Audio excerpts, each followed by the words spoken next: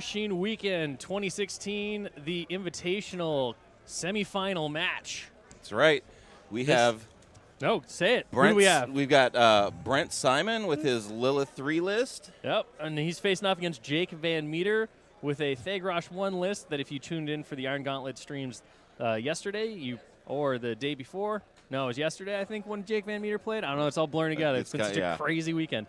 By the way, I'm Will Shick. This is Ed Bourelle. We're going to be your commentator crew for this uh, fantastic matchup on Legion versus Legion action. We're going to see some Hellmouth on Hellmouth. Uh, sweet, sweet fighting. It's going to be exciting. We got two. Hellmouths in one. Yeah, Hellmouthed. That's going to be a thing today.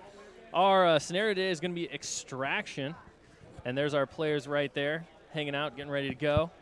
There goes the signal. We're going to see the handshake here. Handshake. Nope, they're just they're just having a good time. Just, they're just having a good time. Shake his Oh, here we go. Here we go. it. Oh, they're not they're not even gonna they're not even gonna shake hands. They're these guys are so in the zone right now. They're they're done. They're done. All right. Well, So J- here, so here goes deployment. Let's get to that scenario real quick, just so you can see what's going on. We got extraction here. Uh, so you're looking for five CPs or Warcaster Warlock Assassination. You score those CPs by controlling a flag or dominating a flag. You can see the flags on the center line there. You can also destroy the enemy objective once per game, obviously, to gain one CP as well. Killbox is in effect, so you got to watch out for that, or otherwise you're going to give away some free CPs if you keep your caster out of the action. And for lists, um, Brent is uh, running Lilith, Reckoning of Everblight, aka Lilith 3. Um, in her battle group, we've got a Succubus, a Carnivean, Seraph, Typhon, a Naga Night Lurker, and a Nephilim Bolt Thrower. Um, they're supported by a pair of Forsaken, Mm-hmm. a pair of Shepherds, a pair of Strider Deathstalkers, and then he finishes off with a single Hellmouth. Yep. So very much a, a kind of a traditional Lilith three list wants to shoot the crap out of you on her feat turn, uh, make life miserable as she stationaries all your stuff. Uh, going against that, Jake's got a Thagrosh on one list. Like I said, you might have seen this before on the previous live streams for the Iron Gauntlet. It's Thagrosh, the uh, prophet of Everblight. You've got Typhon, Proteus, Carnivean, uh, Sacral Vault, Spawning Vessel with full complement of uh, pot pot handlers, uh, two Hellmouths, a two Spell Martyrs, a Shepherd, and a Gobber Chef. Now, that Gobber Chef you got to watch out for because in one of Jake's games yesterday, he actually managed to kill Imperatus with it. So, Nice. if you think that it's just there to, to throw in more bodies to the pot, it is not. It also can mess up your face with its Butcher Knife. You can see here, uh, Jake's finished his uh, initial deployment. There's a little bit of rock music for y'all. Yep, it's going back to it just because. I don't really know why, but there you go Well, you know, we paid for it. We might as well are use it. things are happening. Things are happening. Uh, it's a very exciting pre-deployment phase or deployment phase here. Oh, apparently you can't hear the music, so I'm just crazy. Good. Uh, it's That's perfect. losing I'm our just minds. talking about music. Thanks, Lau. Good job. Get Tony back on. You were terrible at this. But no quarter is beautiful as ever. As- Thank yeah, you, Lyle. It is, and uh, be sure to be sure to start picking up no quarter because you got grind coming up really soon. Hungerford's not here to rep that, but I've played a bunch of games of grind Mark Three in the office, and it's been a blast. I have my own team that's sitting on my table, getting ready to get painted when I get back from this uh, fantastic con. I am excited for grind, and it looks like we are up with Jake VanMeter's first turn. Just advanced deployment. We're not quite there yet. Those hell mouths need to be placed. Jake VanMeter's first. All right. Yes. Jake Advanced VanMeter's deployment. first. There you go. There you go. Nope. Uh, we got a little I bit just, of I just thought AD that to go here. Brett did a really horrible job at ADing. He's just like all in the corner stuff. Behind the woods. You can't here. touch me now. I have a plan. You will never kill these models. I mean, it's fair. You, you could swing around and flank. I don't necessarily know that that's the flank you want them on, though. During their activation, I'm going to move them back to the far corner of the mat onto the Hordes logo. this is my logo. Stay They- away from this logo. they will live to tell the story of this battle. Yeah, pretty much. I mean, that would probably guarantee it for sure. So yeah, it, it- overall, it's like a, it's an interesting matchup here because you've got you've got two very small lists, right? They're they're Mhm. condensed with a lot of heavy models. Lilith's feat not as effective here simply because stationary can't affect a lot of the stuff overall in Jake's list. Like he can force a bunch of shaking to happen Right. against the war beast, but it's not it's not an infantry driven or um, you know there's there's just not a lot or like multi wound infantry specifically driven list. So really, the stationary comes in to knock down defenses on your active turn to try to get more shots in. Um, but you know, again, you got low defense mostly on the side. You know, you're looking at 11 and 12s by and large on Jake's side of the table for the big stuff. So it just comes down to maybe hitting Thagrosh and, and filling him full of arrows at the end. I do enjoy that we're seeing Typhon and Typhon action. Um, that might be fun to see, you know, a six-headed battle royale between the between the two beasts. And uh, yeah, I'm, I'm really interested to see who's going to come out on top. One of the things I really like about this matchup is that I think both lists are strong, but both lists counter what the other list wants to do to some extent. And so it's going to come down to player skill. I think this one really, for me, comes down to who just plays the better game, capitalizes on their opponent's bad dice, um, and can mitigate their own, you know, bad luck as well. And those are always the games I think that are the most fun to watch overall because you're really seeing the true testament of the players playing against each other rather than trying to mitigate from the outset an uphill battle or climb. So Jake is done with all of his Hellmouth deployment shenanigans. Clearly, with Will Shick on the job now, it's not going to be the clown show that was Hungerford and I. Oh, No, we'll get there. We'll get there. I was enjoying all of your uh, musical renditions. I think we should keep that up for sure. All right. Make a best of soundtrack for WARMACHINE Weekend 2016. I'm sure there's a blooper reel out there somewhere from all of our shenanigans. Oh, shenanigans. Tony has been collecting blackmail material on us for years now. It's all out in the public, so at least from the live stream. Well, the live stream, yeah, there's no there's no stopping that from going. So, you know, one of the things that we saw Jake do, and I expect to see him again, you see the three tentacles up there that he deployed in kind of a straight line right next to the Carnivean. yes. First activation, that Carnivean's going to come up. He's going to spray those tentacles and murder them all. And you'd be like, why is he going to do that? Well, he's going to do it for two reasons. One, it's going to give uh, three souls to the Sacral Vault, and then it's going to give three corpse tokens to the spawning vessel, which will allow him to immediately jump out a lesser war beast. And those tentacles just come back. You know, one at a time, but they do come back. So the tentacles are. It's a really interesting. It's the resource. Way, yeah, the way he uses them is really interesting because not only are they are they a dangerous resource, but in the first turn, they're basically resources for the rest of his army to be able to do the things they want to do, and it costs him almost nothing, right? So. Um, expect to see that play here. It's it's really clever. It drives Hungerford mad, which makes me love it more. um, he just, you know, he hates the fact that uh, the tentacles have souls, but I mean, they have a mind of their own. They're doing their own thing. They're not just controlled by a giant, you know, terror mouth in the center. Yeah, I mean, what's just, you know, he works on those rules. It's true. I mean, you saw what was coming. Um, I think my favorite moment from Jake's last game we saw stream. There's the handshake, there's the and now they're ready to get this thing underway. Uh, so we see a roll. This is going to be for the Sacral Vault's uh, soul ability. It is called what is it nowadays? Crypt of Souls. Yes, Crypt of Souls. So if it doesn't start with soul tokens, it gets to roll a D3. He got two souls. Here comes that Carnivean. Checking its spray, so we'll see the Carnivean advance probably. There it goes. Perhaps Jake VanMeter did not bring his own spray template. Perhaps He's borrowing He's just not ready. He's- maybe his, maybe Brent's just looks cooler, you know. See a quick measurement there, just checking things out. He's got to make sure he's he knows what the threat ranges are on things. there we go. So he's going to go ahead and assault. I, yeah, he's assaulting here. So there's the rat four shots against the tentacles, and then he's going to go bite some tentacles, and all three of the tentacles are now dead. And three souls and three corpses go in the pot. So there you go. Opening move from Jake VanMeter. Solid one to get everything uh, fueled up and powered and ready to go for this game. I feel like that's just good use of your It resources. is. It is. I mean, it's it's just smart play, right? Some people wouldn't see those interactions and how they work. Um, Jake is a tried and true Legion guy, and he, you know, you can tell he practices a lot with the list that he uses. And you can also see those, you know, those inherent. How do I maximize what I'm bringing to the table? And again, because the Hellmouth slowly replenishes its tentacles, it really costs him nothing. Right. So there's zero reason not to do it. Um, in olden days, before pre-Hellmouth, you would have seen uh, those poor pot bears stabbing each other in the back on the first turn to do basically the same thing. Um, but now he can maintain those resources. Here comes a shredder. Boop.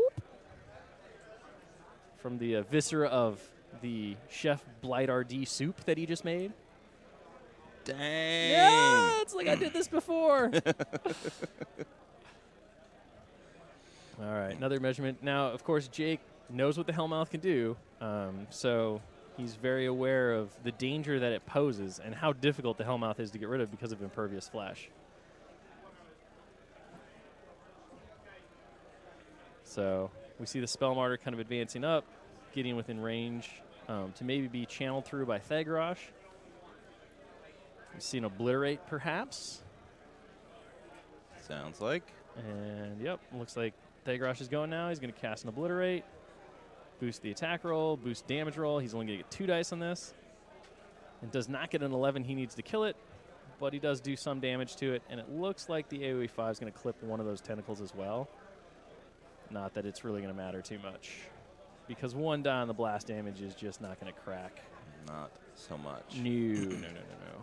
Hellmouth is very difficult to remove at arm 18 Thagrosh. and arm 15 on the tentacles. So Stegrush, did, they, did you see Thagrosh advanced? yeah, he, he, he advanced mosey, up. moseyed forward. Mm, not sure if we'll. S- I mean, Fog of War kind of irrelevant in this uh, matchup with a bunch of eyeless side on the other side. We're probably not going to see that one put up at all. So he's just going to sit on two. A little surprised. Uh, he's got a token on him. Maybe he did put a Fog of War. All right, so so so Typhon thra- uh, tramples forward and then puts up probably excessive healing on himself here. Nope. He's actually just going to murder some more tentacles. So he buys an attack after the trample. And he misses on his own tentacle. He buys another attack on the tentacle.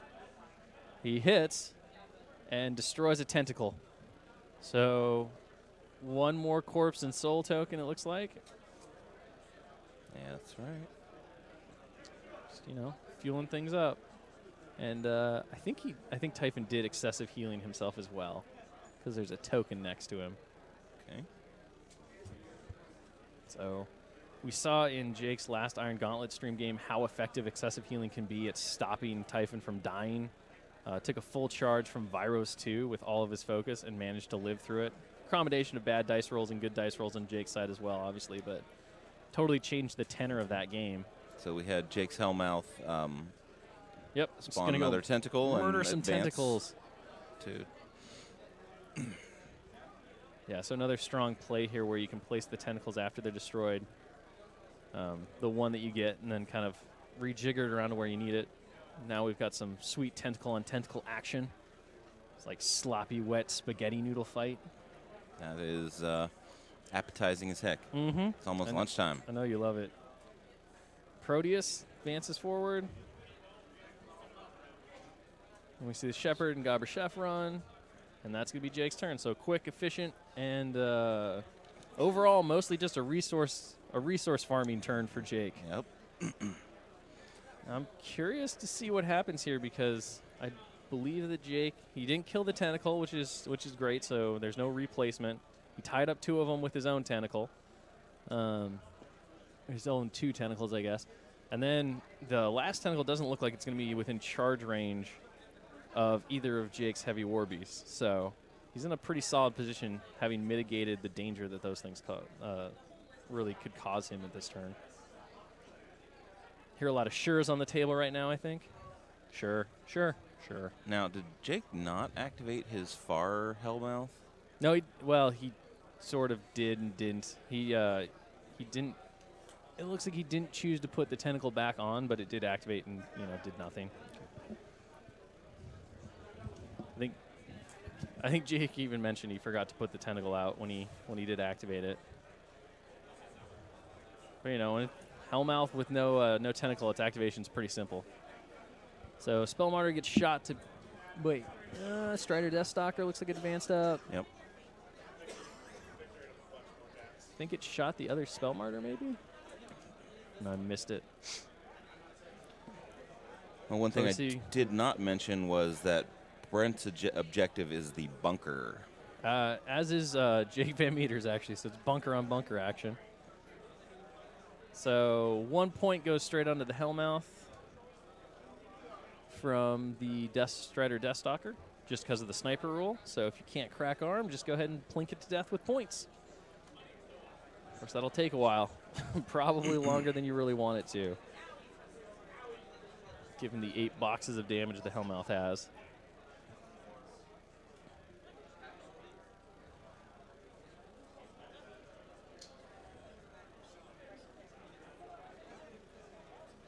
So, uh, Brent talking about wind wall a little bit and how it doesn't really matter too much against Jake's army because the Sacral Vault is a magical attack, which ignores wind wall.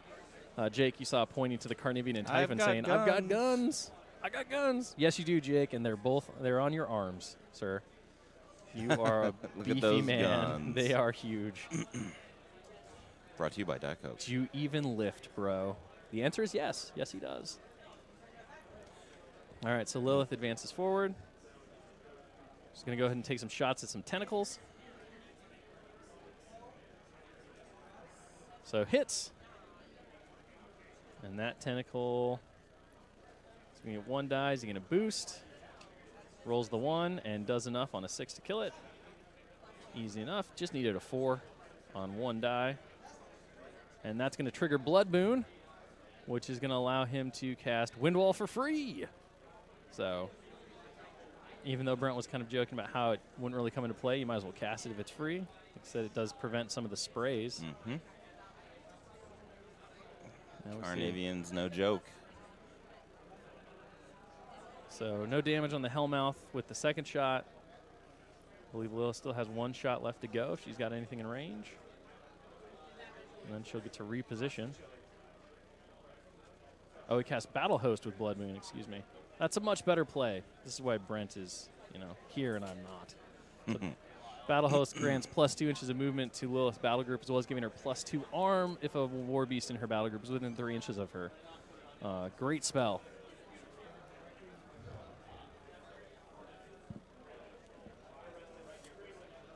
All right, so that's going to end Lilith's turn, it looks like. Now it's going to be War Beast time. Maybe. Or Brent's going to think about this. He's going to pull out the laser. He's trying to figure out how to get rid of that other tentacle and free up his own his own Hellmouth to do some stuff. Definitely possible with those Death Striders. Death Stalkers. Death Stalkers. Whatever. Strider, Death Strider, Death. Stalkers. There we go. I had most of the words, just not in the right order. Stalker Death Strider. Stalker, Death, Strider, Striders, stuff. All right. So another tentacle goes down to Sniper. Swift Hunter could snap, or and also got the other tentacle that's engaged too. It looks Yeah. like. So actually, Swift Hunter back. We're gonna see these tentacles jumping forward. Just out of range here. Let's see. So no. So that tentacle is running. Staying out of melee of Proteus, it looks like. Other tentacle running. This tentacle's just, as Brent put it, dying for the cause here. Hellmouth can always make more. It's got so many right. tentacles under there. It's a tentacle factory. All right. Lilith chose not to reposition after making her shots.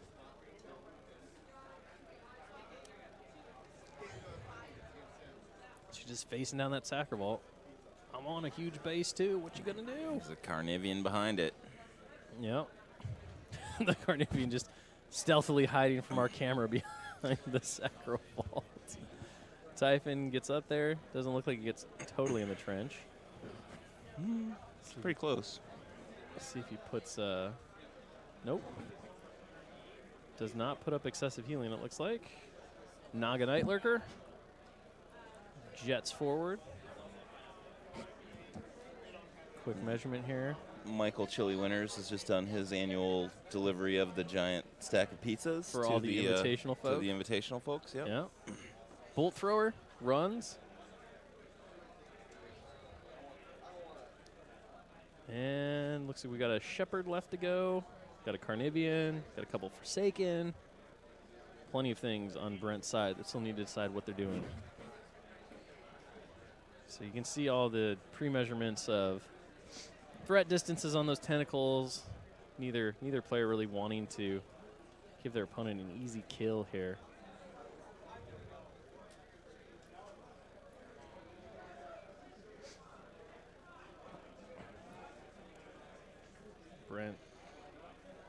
Going to. Not sure which model that one is. Is that the? Uh, I can't even tell from this angle. It's something on a large base. What would that be? Come on, Ed. Tell That's me. Carnivean. No, no, no. The other one. The, the Typhon. the base that's up by Lilith, right there. What's that one? You got Typhon, you got the Carnivean. They've moved. There's a Seraph. there's a Seraph. All right, there we go. So the Seraph is being proxied right now, or flying really high in the air because its wings uh, can cause some issues when you're that close to Lilith, All right. getting within the wind wall protection.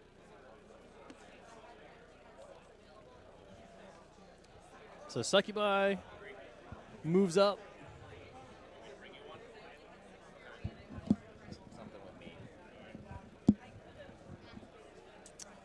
And she just kind of advances forward.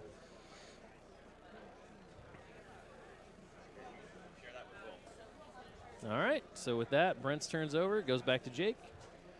Jake goes ahead and leeches in all of his fury. One of the really cool things about Thagrosh nowadays is his Authentic ability in the new editions, where he just gets his fury back, Right. regardless. He's like a warlock warcaster. It's amazing. He's like, kill all my beasts. I don't care. One, I can bring one of them back with my feat, and two, I still get to do all the stuff I want to do. So some quick measurements. Jake's still really wanting to remove the threat of the Hellmouth.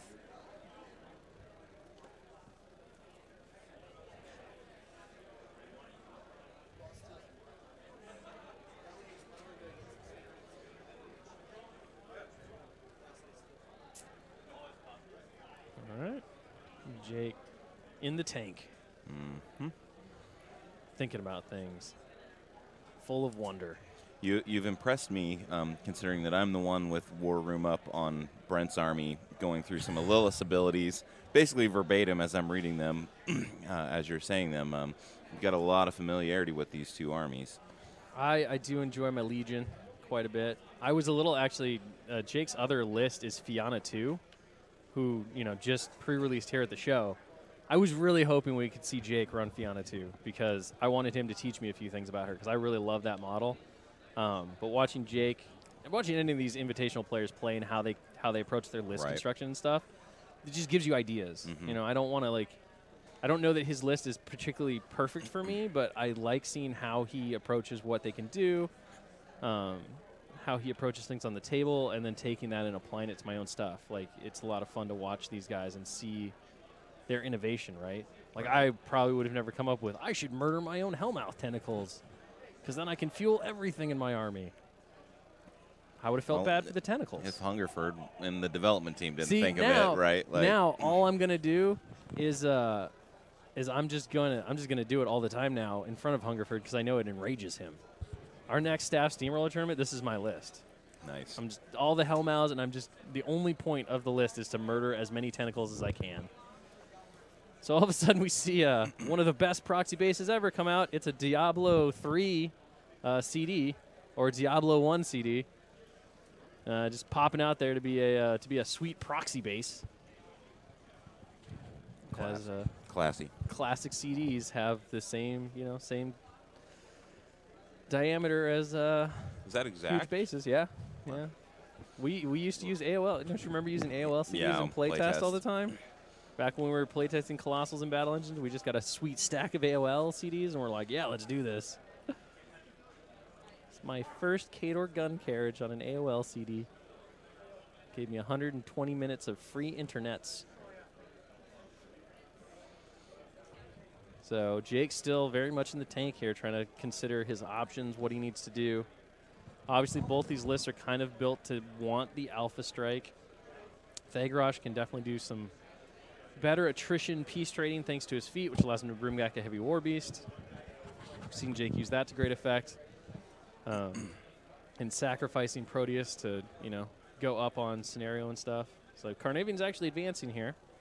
Looks like he's going to try to get rid of that Strider Deathstalker with a uh, sweet 10 inch spray. So boost the spray. Flame on! Needs an 11, and that is not an 11. So that will be uh, that will be that. Sadly for Monsieur Carnivean.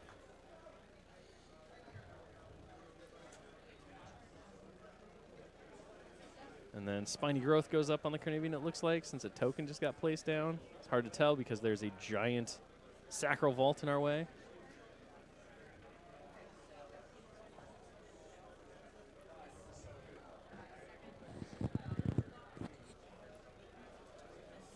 See kind of where he expects to place the sacral vault right now.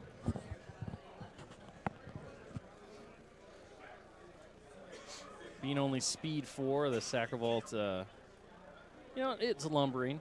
It does its thing. All right, so Jake moving over to Proteus now. More calculations. Yep. Seeing what he needs to do. All right, so something just moved. I don't know what it is because it's on Jake's hand. Uh, looks like a. Sh- is that the shepherd? Oh, it's a shredder. So the shredder's going to bite himself a tentacle and succeed because shredder.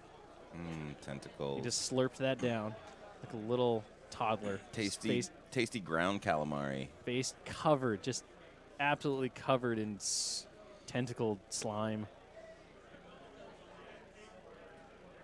In protein jelly. Pop moves up. Probably going to pop out, I would guess, another shredder Yep. since it just got its third corpse from that uh, destroyed tentacle. The Sacral Vault, unfortunately, unable to claim the soul because it is full up on five. All right, Tentacle Man. See another another shredder pop out from the Chef Blight RD pot. Making some soup. Ploop. Oh, look at me. I'm a shredder. All right, so Shredder's out. Jake now determining his next activation here.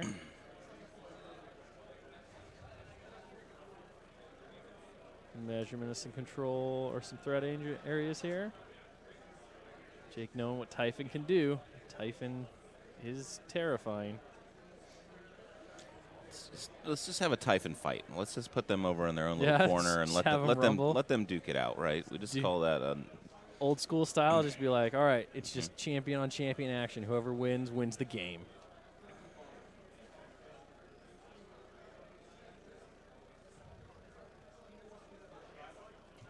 So, Sacral Vault advances forward, rolls through that forest, dodging deftly between those trees. or just steamrolling them over.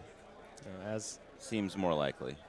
As most folks are aware, if you're not or new to the stream, uh, those big battle engines, they have Pathfinder, which means they're not hindered by terrain at all. So, one of their innate benefits of being so large. So shoots, uh, gets a shot, kills the Death Stalker, uses its soul to take control of the Death Stalker, and then has the Death Stalker walk over and stab a Naga in the back. Holy cow! And that is, that's a roll right there. So box cars, it's going to deal a healthy chunk of damage. So you can see uh, seven points. It looks like on the Naga. Not too shabby. For Not not at all, honestly. When you consider that uh, that was with his own model. right. It's like, oh, you're mine now, and uh, you're dead. Also dead. So Sacral Vault doing what Sacral Vault does.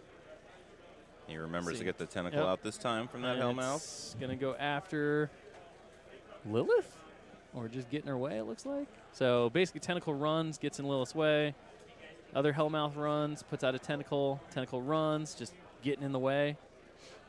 Jamming up the works here. Uh, those tentacles, because they'll be out of command, it looks like, um, won't be able to make free strikes, but are still in the way. So, you know, yeah, I'm pretty sure that's out of eight.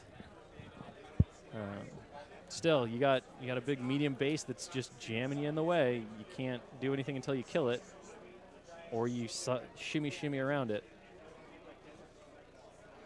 All right, so a couple quick activations. Jake going back into the think tank here. Pretty sure that he's kind of focused on removing that other Hellmouth because that thing is going to cause him problems if he leaves it. Um, the drag ability on that thing is just gross. It's a little grip ability, which allows it, when it hits a large base or smaller model, to just simply pull that model as much distance as needed towards the Hellmouth Yeah. itself, allowing the Hellmouth to bite it. All right, so Proteus looks like he's going to take care of some tentacles here. Proteus has Chain Strike, so he's got a sweet four-inch range. Uh, hits and destroys a tentacle with its uh, with his claw. Tentacle versus And we see another body go in the pot. Hits, drags in the tentacle. A little tentacle tentacle action here as well. Uh, and destroys the other tentacle. Proteus, his little face, his squibbly tentacles on his face have the pull ability, so if they hit a model, they can drag it in. So Proteus is like, I know what you want to do, Hellmouth. You want to you want to drag me? I'm going to drag you. Look at this. Just slime suckers squishing on each other and writhing around and just See gross. Typhon try to get rid of that It's like slug mating. Hellmouth over in the south. Yep. So we're going to see a bunch of sprays, I think, coming from Typhon. Just trying to finish it off with number of attacks here. All right. So Typhon Blight Breath is going to get three of these at POW 14s. This means he's going to be four off on the dice. So only get one. He's going to get two dice if he boosts. So boosted. Boosted attack roll actually misses. Second one hits. Boost damage. Gets two dice on this. Needs a 12 to kill. Doesn't get it. So puts some damage on it. Really needs this one to kill it. Or otherwise, that Hellmouth is really going to ruin his day here. Nope, excessive healings, Typhon. And uh, simply moves a shredder up. And so you see where he placed that shredder. He's using it to block the drag, the grip action from the tentacle that's going to pop out from that Hellmouth next turn. Because obviously, a model that's being pulled or pushed stops when it contacts an, an obstacle, an obstruction, or another model. So that shredder just got a roadblock duty. He's a speed bump in all the literal sense. Thagrosh gonna activate. It looks like and shimmy over. Oh, Jake look at that! One of his shredders and That shredder just was so hungry it had to bite the tape measure. Gimme, gimme, gimme. Like I'm starving here. Shredder or Shepard Shepherd. comes up. Yep. Conditions. Pulls off a uh, Fury.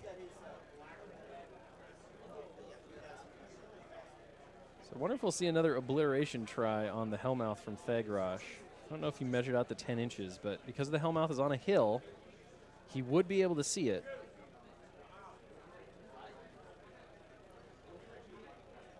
And he's got a lot of fury to, to spend here. You could also go for a mutagenesis, wouldn't be in range for sure. So Thagrosh advances, moves over, puts excessive healing on himself. So he now has excessive healing every every time he gets damaged. As long as he's not destroyed by the damage roll, he heals D3 damage. Puts Draconic Strength on Proteus, which is another sweet, sweet spell that he has. Gives plus two strength and immunity fire. And looks like he's going to sit on. Uh,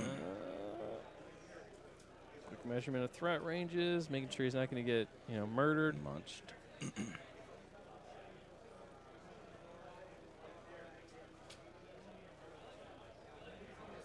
So Jake just talking to Brent right now about um, a couple of the models in his army and what he's got here in terms of offensive capabilities. Open information, obviously really important in Games of WARMACHINE. So Thagrosh actually sits on four. And over to Brent's turn. Curious if that Carnivean that tried to spray the Naga or the Deathstalker is still in control. He probably is. It's hard to tell because you can't see him from behind his hiding place in the Sacral Vault.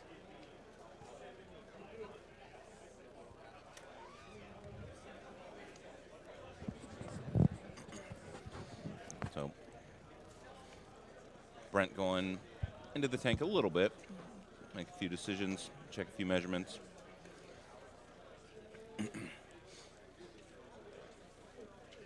it's interesting to see these players sort of uh, plan out their turn before they start taking any actions with the ability to pre-measure and drop Yeah. in some proxies. It's they can uh, sort of test a theory, Mm-hmm. adjust it, and, and you get to sort of see their critical thinking and how they might use their army even if they don't execute one of their plans. Yeah, I mean, you asked me before the stream even began. You, you said, what, "What's my opinion on how pre-measurement in the new editions has affected the live stream experience?" And I'm like, you know, in the old in Mark II, you just you'd watch the players, and all they'd measure was their control area, right? Or they might measure um, contest area off of an objective or something, because those were the free things you could measure.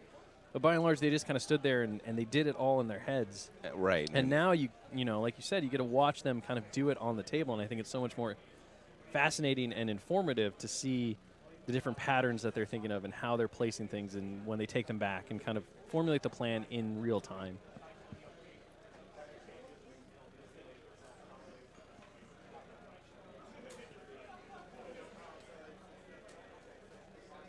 So we had the uh,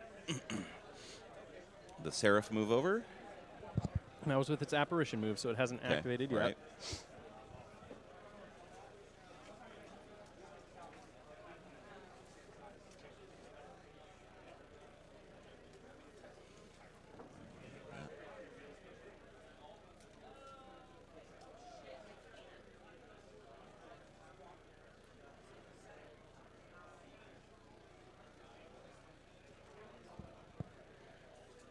Bolt throwers come up to uh, hopefully take control of that flag.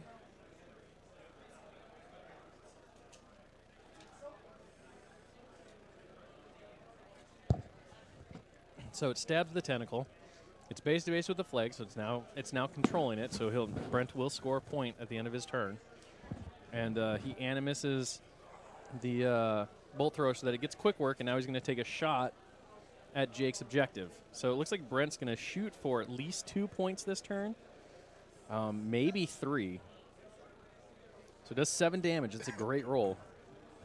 Leaves it with eight left. Remember, destroying the objective is going to jump him up a point. The flag will give him a point, and he'll be able to score the flags on every turn. Right. And it looks like Jake doesn't have anything except maybe the shredder. Looks like they're measuring it now. Uh, in contest range of the other flag. So this could be a three point turn for Brent, which would be massive.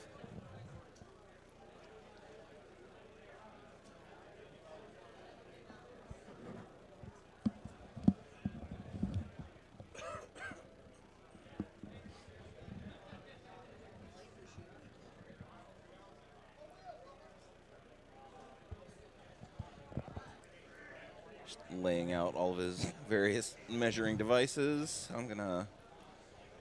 It's almost like he needs it, like old time calipers or a protractor out there. or like three paper clips and a Hot Wheel. yeah, that'll reach.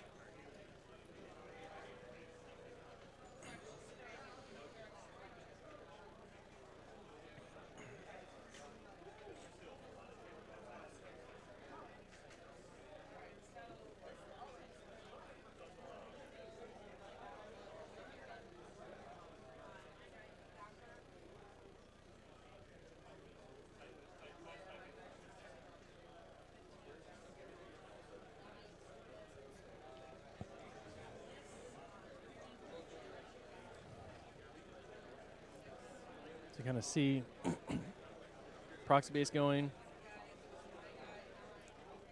And got a tentacle there, so he's going to attack the tentacle with the Carnivean, it looks like. So Brent trying to make sure he's outside of drag range from the other Hellmouth. Puts up uh, spiny growth on himself and advances back to where that proxy base is since Typhon's head's kind of overhanging there.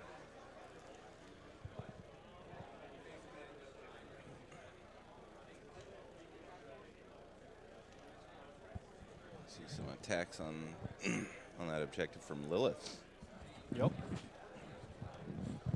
Bunker's a little tricky for ranged armies because it does drop a die against ranged and magic attacks, but Right. Lilith at a POW 12, needing to do only 8 damage, like, Brent's got enough, I think, to, to finish off the objective this turn easy.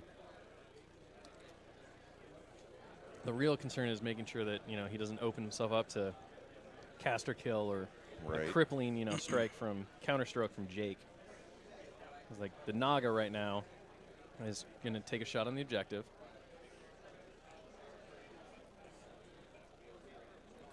It hits, boost damage, does two more. So objective has six left. Naga kind of had to go out into the wind to do that, although it is blocking the way to the bolt thrower, who is doing its job holding that flag.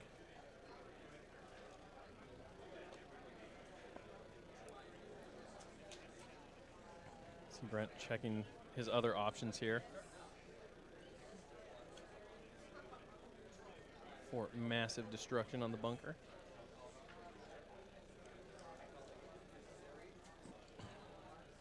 Looks like he's considering just having Lilith pepper it with arrows.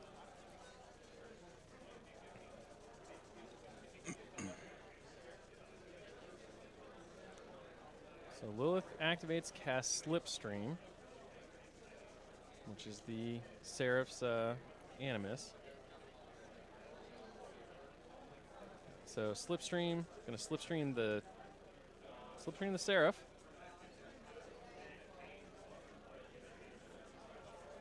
And shoots Rat 8.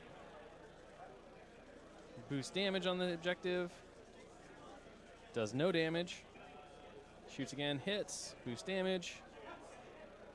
And that'll do. So low roll followed by a spiked roll, and that objective is destroyed. And that'll immediately score Brent a control point.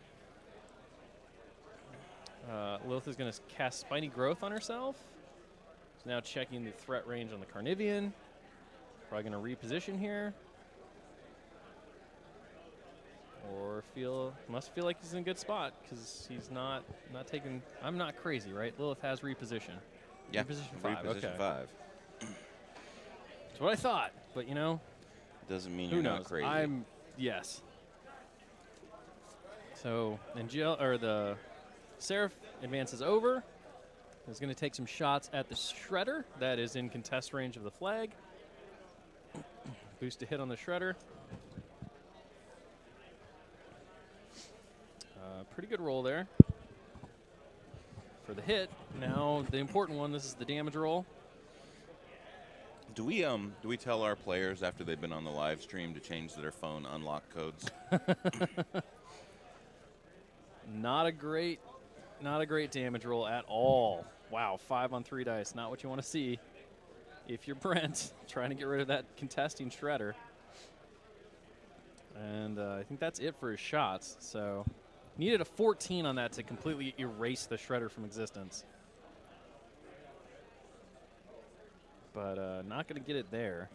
well, it's to prevent the Hellmouth from taking care of it.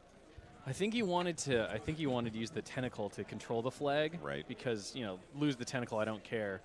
Um, and I think the the Death Stalker already went, right? Or am I remembering last turn? I can't remember if he's activated the Death Stalker. I can't either. So tentacle charges. It's likely going to attack the Shredder, even though it could pull Proteus forward. But he wants to remove no charge. So no charge, hits, uses grip, and yeah, it is on the Shredder. He only deals three points, and the Shredder gets pulled into the Hellmouth. Hellmouth gets to bite now. So dice plus two. That'll do it. hits and murders a shredder. Explodey.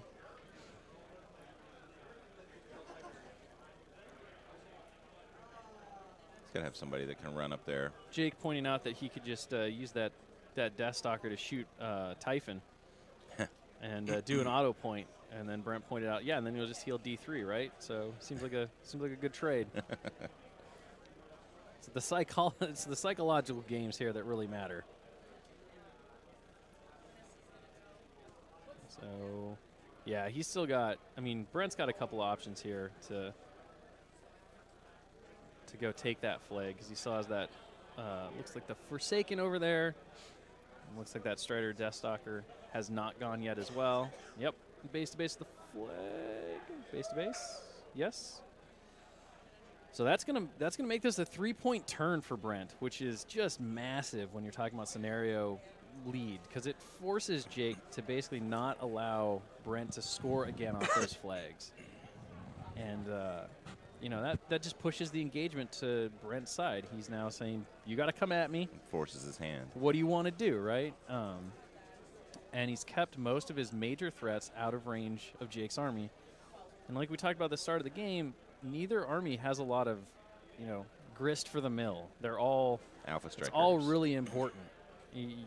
Now Thagrosh can toss Typhon or Proteus or the Carnivean out kind of as a sacrificial lamb because he gets to bring them back. Um, but you really don't want to do that just to stop your opponent from scoring a point on your turn. That kind of exchange is not going to earn you a whole lot in the long run. Well, you might want to stop him from scoring two points on your turn. you don't have a choice, right? I mean, that's the thing, right? At- this point, you, if you're Jake, you don't have a choice. Um, the best you can hope for is to make that sacrificial lamb not only stop the point scoring, but also draw one of Brent's important pieces in for a trade that is, you know, not as good for him because he doesn't have Thagrosh's feat.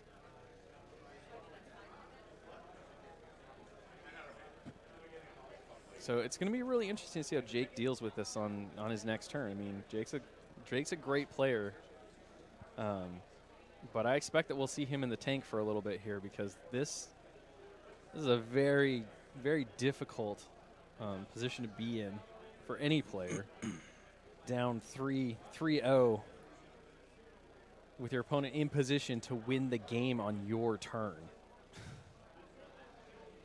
Because remember, you score at the end of every t- every player's turn. So Brent will score on Jake's turn if Brent if Jake doesn't at least contest or remove the threats. The Death Stalker's not going to be an issue. No, I mean even the bolt thrower by and large is is killable. The problem is again, you know, you put that stuff out there and then all of a sudden it's dead. Right. Like it's going it's going to get murdered. Um, and you still have to, you know, the, the other hard part is, is that you still have to factor. Okay, so let's say Jake pulls pulls the two off the flags, manages to kill the the Naga Night Lurker, and then scores two on his turn.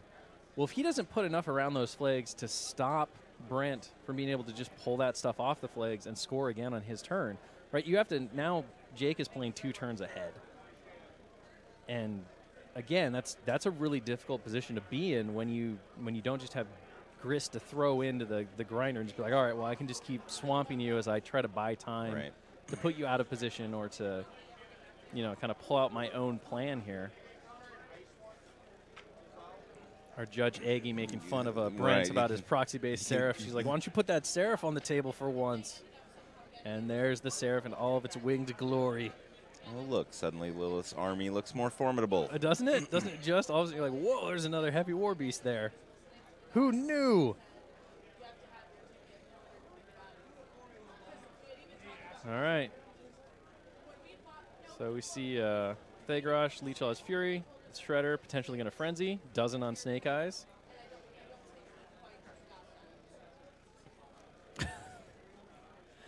and uh, both of them passing. Jake apparently unhappy about one of them. Saw the fish shake there. So now Jake is in the tank. Blub, blub, blub. An aquarium is just a submarine for fish.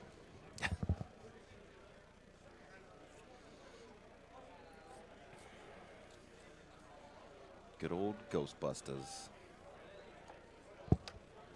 was a solid um, new take on that movie. I liked it. Mm-hmm.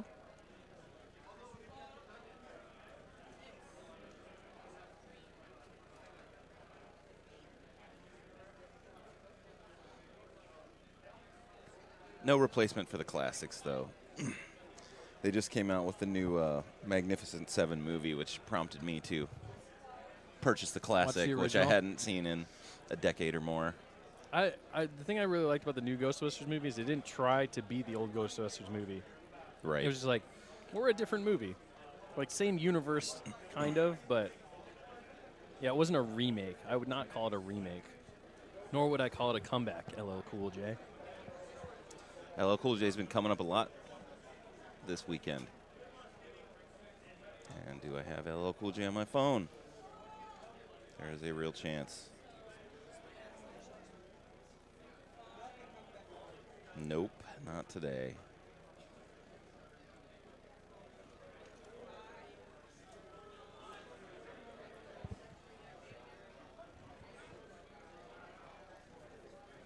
All right. So Jake is uh, making some attacks here with his uh, tentacle. He's going to drag the bolt thrower into the hellmouth, so they'll pull him off the flag. That leaves uh Oh, the Naga, excuse me. So the Naga gets drugged. Naga's spirit is destroyed. Remember, it also got stabbed by the possessed uh, Strider Deathstalker. With the Naga out of the way, does that mean we're going to have a Carnivean going in? Probably. Um, we'll see. Or looks like it- the uh, Sacral Vault's just going to go in there and be like, I'm in the way. So he gets, looks like he's going to get three shots this turn. That's what he was rolling for. is he close enough to contest the flag? 'Cause I would have to imagine that's going to be tough to move. Yeah, I I mean, you know, without committing Typhon or the Carnivean in, and at that point, you're basically saying, well, you're going to die, but we're going to get rid of you. And for a point when you're three up, I mean, it's worth it. Right. So shots being purchased and boosted here against the bolt thrower. I think the bolt thrower. Yeah.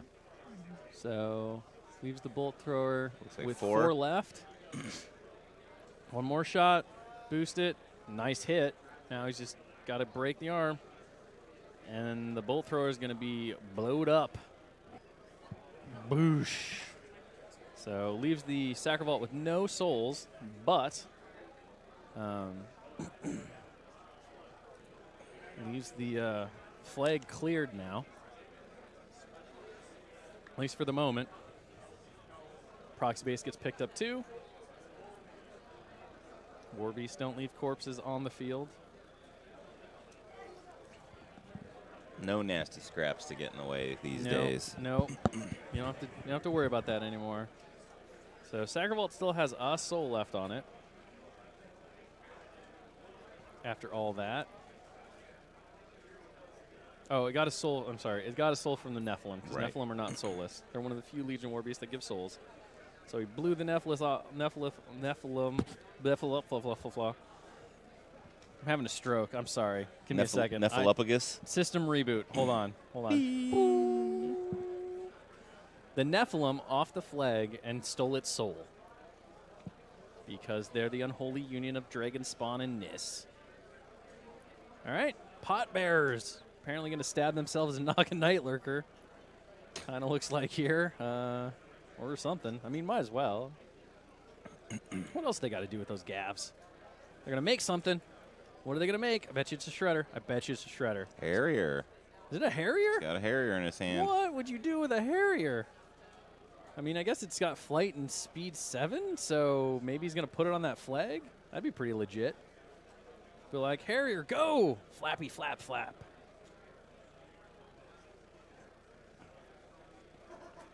Uh, apparently, he's just gonna murder his own pot bearers at this. Nope, nope. He is attacking the Night Lurker.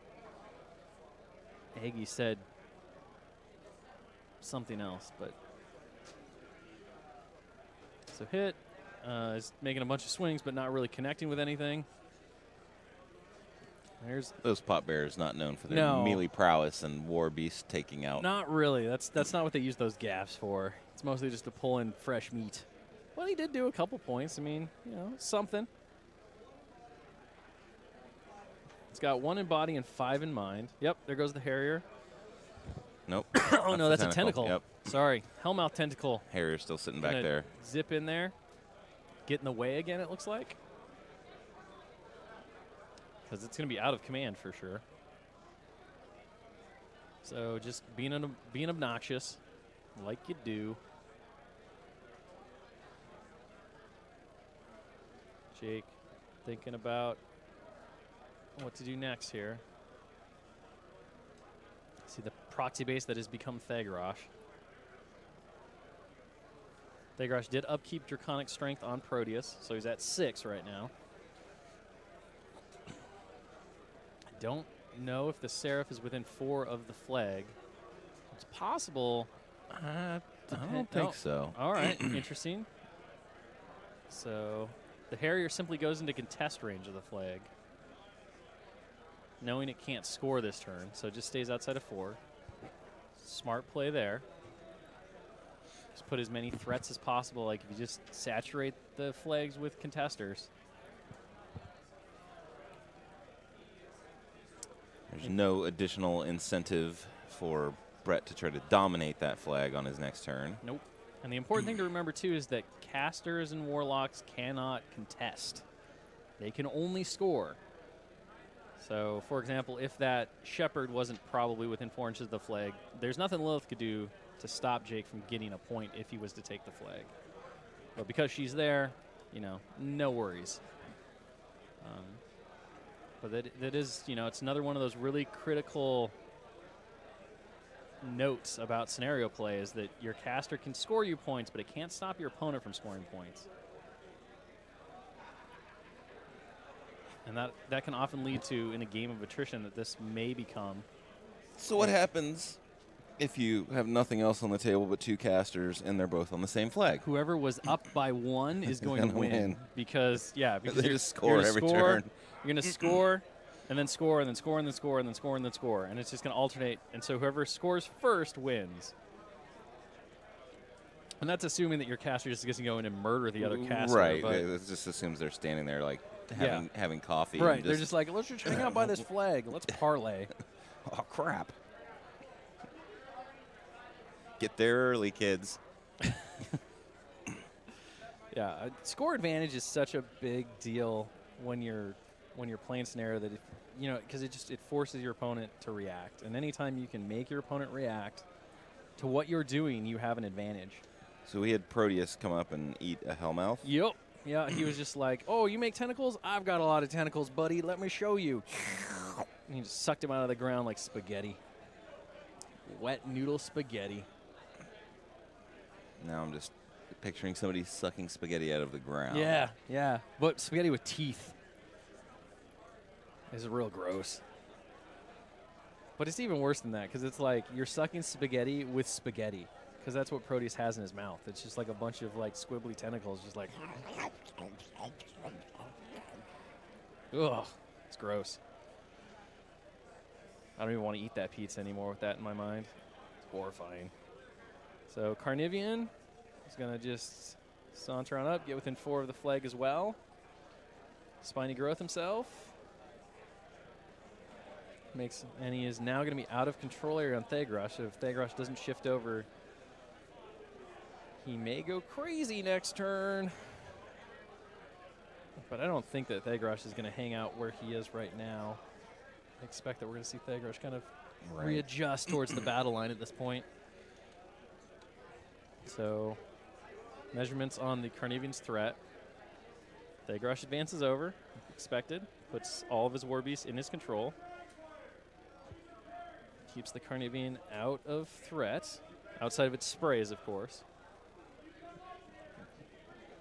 Tag model back on the table. And we're going to see him spend some fury to do something, I'm sure.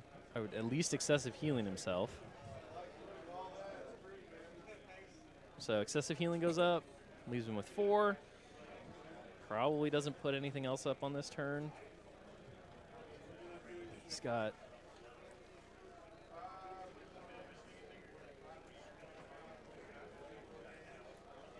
He's got three on Typhon right now, which I think was the fish shake that when Typhon didn't frenzy, it meant that uh, he couldn't dump the Fury, Right.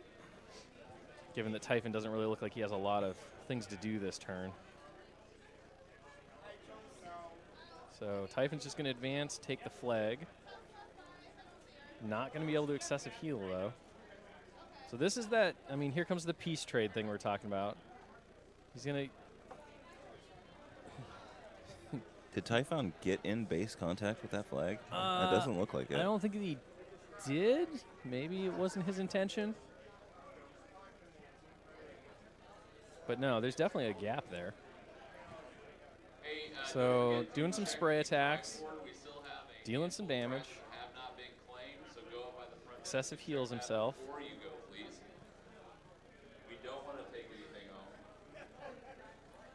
So th- Typhon now full up on Fury again. Shredder just gonna go get in the way. There's more where that came from. There absolutely is. Please tell me I didn't just get the hiccups on the live stream. I've had them all weekend. well, maybe if you weren't downing vodka out of your, uh, it's gin for you. If you weren't just downing straight gin out of your uh, mercenary cup. Or is that a Crick's no, mug? that's a Crick's cup. uh, Crick's mug. It's been more of uh, Canadian maple whiskey kind of weekend. It's because there's so many Canadians I around know. here. They've been, they've been just staging their own like overtake of WARMACHINE Weekend. Well, for a little while I was thinking St. Louis might be in Canada, and then I remembered it was in Wisconsin. You'd think it would at this point wherever we with the number of Canucks.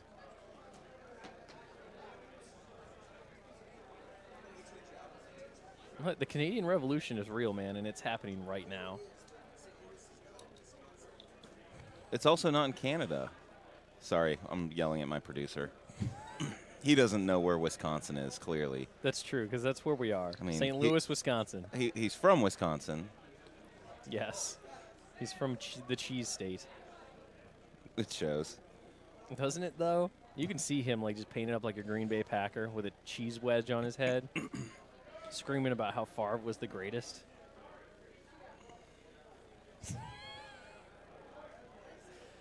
Uh, That's my Alright. story. I'm sticking to it. St. Louis, Wisconsin. So we see some shimmying here um, on Brent's initial turn. So Jake Jake finished his turn. He's contesting the flags with just about everything in his army at this point. um, he's you know If anyone wants a vintage 3XL Abomination shirt, come find me at the front desk. you've kind of seen a uh, you know I think you saw about the best play that you can make in this situation given the tools that Jake had. He cleared the flags. He's trapped up the Night Lurker really well um, on his side of the table. He'll be able to kill it next turn if he needs to with the Hellmouth. He's put enough high box stuff in contesting of the flags that I don't think Brent has the resources to answer all of it. And he hasn't, I don't think, given away anything yet that, you know, will cripple him in the following turn. So I think he still has a pretty strong counterstroke next turn. Kind of depends on what Brent's dice do, though. If they spike, it could kind of ruin the plans. Um, but now Brent really has to decide, you know, what do I want to get rid of? He's. I, I would. I. I don't know. Uh, it depends on his ranges. I don't. I mean, He's got some way to move that Carnivean back up top. well, he still has Slipstream. Um, he doesn't have a Hellmouth anymore, so there's no more grip shenanigans that you have to worry about when you're Jake. You do have to worry about the grip shenanigans on Jake's side, though, because Jake still has both Hellmouths. Mhm. One which is centrally located and one which is right by the flag that you're trying to get to. Thagrosh isn't in your danger zone at this point. Danger zone! So yeah, I the I would concentrate on that upper flag. I believe. yeah, yeah, no, I mean at this point the the southern flag is probably not not really dealable at this point. Dealable with. Yeah, you can't you can't dealt with it. Deal withable. As Kenny Rogers would say, you got to know when to hold them, you got to know when to fold them. You got to know when to walk away, and you got to know when to Hungerford. That's right. I mean, Hungerfording is rare, but when you need to do it, you got to do it. I Hungerforded this morning. Did you? Yeah. Wow. Coffee does it to me every time. It is a diuretic. All right, so Lylyth. Uh, Lylyth moves. She casts Slipstream. She moves. She slipstreams Typhon forward. She's now going to take some shots. Pew pew.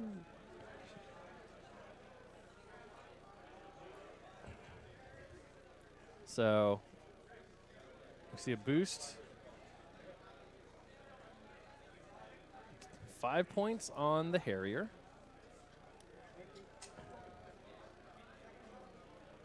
And then second shot on the Harrier misses. Oof. This is not this is not the strong start that you want when you're Lylyth. Right. Hits on the third, it looks like. Boost damage. It's going to have to really spike to kill it, though. Seven points to the six, which leaves the Harrier up. So it's got one box left. So awesome if you're Jake, not so much if you're Brent. No Blood Boon either. Not that, I mean, just out of Frost Hammer range and Wind Wall is only sort of useful. Has to watch the kill box now. Looks like he will use his reposition. Will not use his reposition.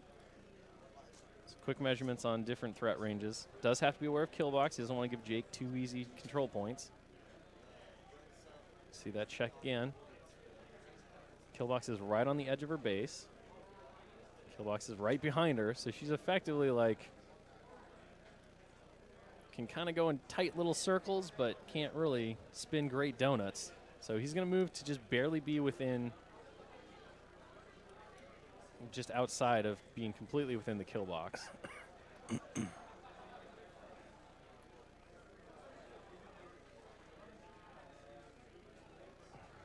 so that's going to end Lylyth's turn, it looks like, because that was the reposition move. Still no feat, but doesn't really have a lot of great stuff in her 10 inch control range at this point, being on the corner of the board. But no, I think you're right, Ed. I, I think most of our continuing action is going to be on that flag on the north there. So see a Typhon, Typhon? charge or slam. uh, he's going to charge the Carnivean. Typhon just going to take care of it. It's going to put him within range of both the Harrier and the Carnivean. Carnivean is armed 20 though with spiny growth. Needs a four to hit, so it seems doable. Hits on a four. Good enough.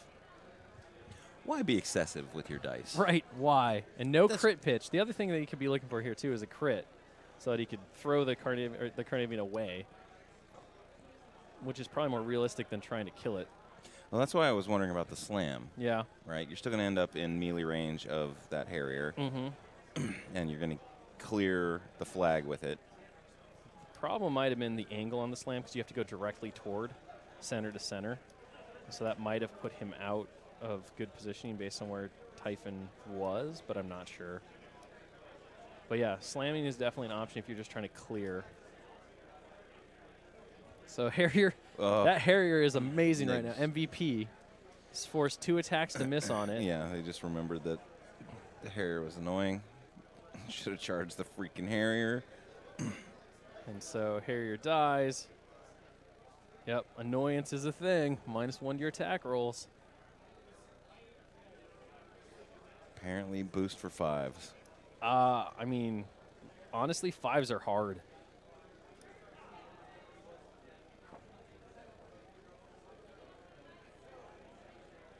Oof, So Four- 14 to the five. that's a good roll. yeah. Not sure it's going to be enough, though, after the Harrier forced all those initials to miss. So that'll fill up the mind, it looks like.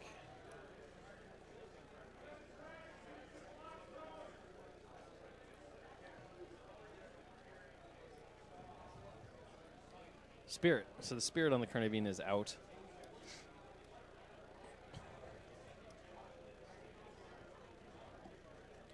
And it looks like Typhon's done. Uh, Typhon hit him. He's trying. I think. Uh, he's trying to decide if he boosts boost damage or to make the other attack. Right.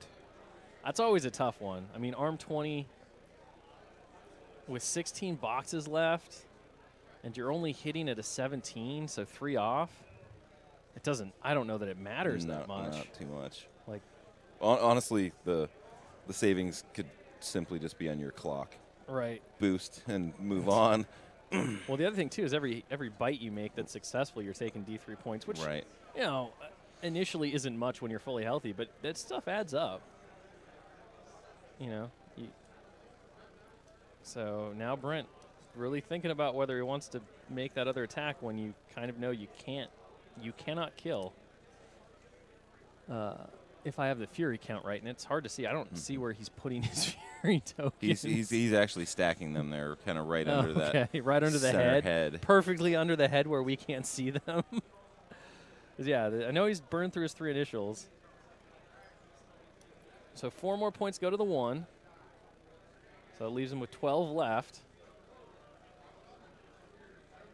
And he's going to take one point back from Spiny Growth. And I don't think Typhon has anything left. So, yep, it looks like Typhon's done now.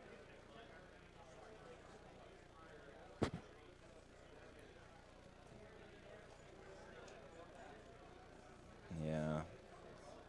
That's boosting for crit pitch might have been the Would have at least cleared him from the flag. Right. The thing I don't know is if the Sacral Vault got within contest range. It doesn't look like it did, well, well. I mean, it, but it's hard to say. he could be willing to commit the Carnivean there too. Yep. Yep. There's definitely ways to deal with the Sacral Vault if your dice agree with you, which, you know, based on Brent's current dice, Not so much. might not want to might might want to be a little cautious about that because I mean, annoyance changed the equation a little bit, but not much. Sorry.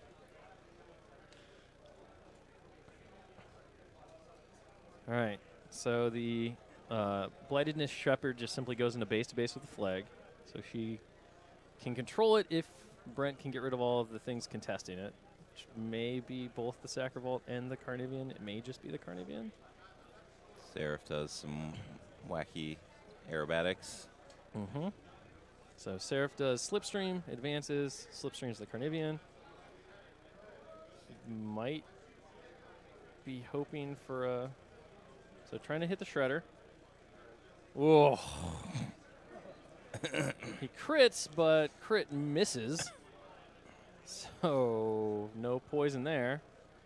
Does it again. Misses again. Oh, Brent. Oh, I'm sorry, buddy. This is. This is. this is just. This is just dice, man. They they'll do this to you. So Carnivean walks into base with the. Uh, well, into melee range with the Sacral Vault. Takes a point from Soulstorm, one point to the seven. And in Death Shroud, the Sacral Vault is effectively arm 22 because Thagrosh drops strength by minus two in his command. So does five points on the first hit. Mm. Second one. So two more points because the claws are weaker than the bite. Buys an attack. Yeah, it doesn't buy an attack. There we go. All right. So Second third initial. attack. Yep. Hits. Six off. Less than five. So five. Buys a bite. Hits.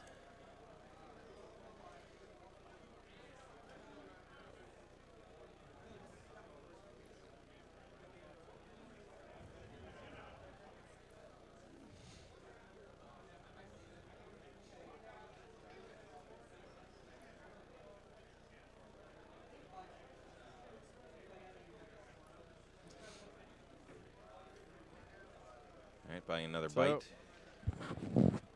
Hits. That attack, the last attack did no damage, as you saw. One more point. Oh. It's Oh, getting down there. I think he's only got five left on it. Uh, you need an eight to kill. And does destroy it. so manages to take it out. And uh, had a, had just really nice spikes on the last of those rolls. Kind of seeing the swing balance out based on the misses and the inability to hit before, and then it coming back in force from averages on the Carnivean just spiking a bunch. See, should have needed to use more fury for that. Absolutely, under Death Shroud. Carnivean's still in the way, though. Yep. Stopping that point from being scored and going up to four. I mean, but he needs to get up there and contest. Jake is uh. So Shepard moves up. Oh no, Jake's not. So heals this air for two. And that should leave a Forsaken to go. And maybe another Forsaken. Oh, that'll be the it. So goes to Jake's turn. No points scored for Brent because the Carnivean lived.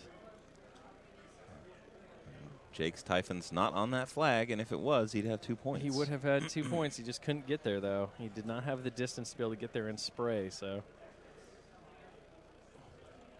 so Proteus is going to gonna go ahead and frenzy. So that shredder frenzies into the Seraph, hits and does no damage because it doesn't get the boosted attack roll because it didn't charge more than three inches. Typhon frenzies, not what you want to see.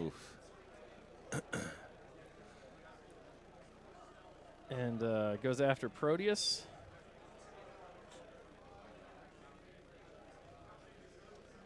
And he has to go the whole distance until contact. And hits.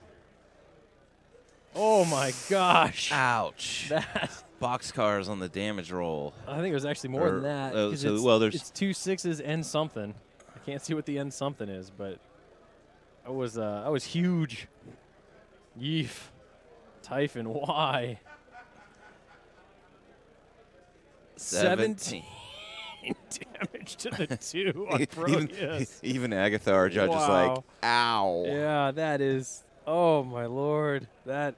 Well, so It's risk management, man. So Proteus passes even after getting schmucked by Typhon. He's like, dude, what the hell? would have been great if he would have also frenzied a little payback. Whacked him back. Jake's war beasts or character war beasts are standing there just slapping the crap out of each Uh, other on the battlefield. Proteus and Typhon got some beef going on here.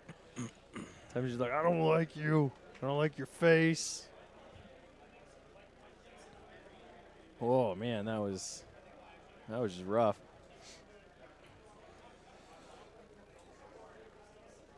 So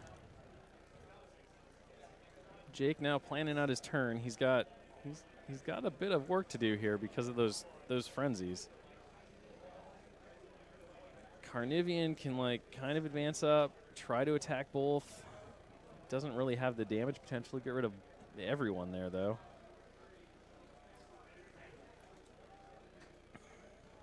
So let's see what Jake's got in mind here. So he can get both beasts into melee with the Carnivean that is still contesting. So you get a murder. So I mean, the plan is you do as much damage with the Carnivean as you can. Use the Hellmouth to drag Typhon, hopefully out of Lylyth's control area, which would be big. You drag the Carnivean away, and maybe with the other Hellmouth. So Thagrosh activates. He did upkeep Draconic Strength on Proteus. Thagrosh advances forward. Thagrosh still has a feat, too. I mean, it, it can be Yep. relevant at this point. Uh, we see excessive healing go on Thagrosh, it looks like. Leaves him with three. And heals heals the Carnivean for one. He's going to heal Proteus for one because Proteus Proteus has his spirit out.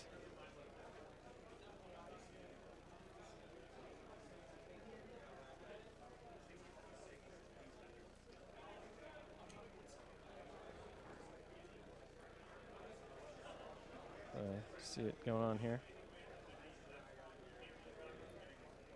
So Proteus's body's back. So Carnivean advances, begins to attack. See a bite attack that misses. Hits with the first swing.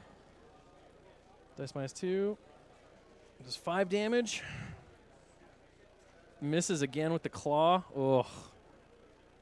Hits with the bite. Oh, three to the two. Low rolls here. Hits. That's much better. 10 to the 5. Bite again. Hits.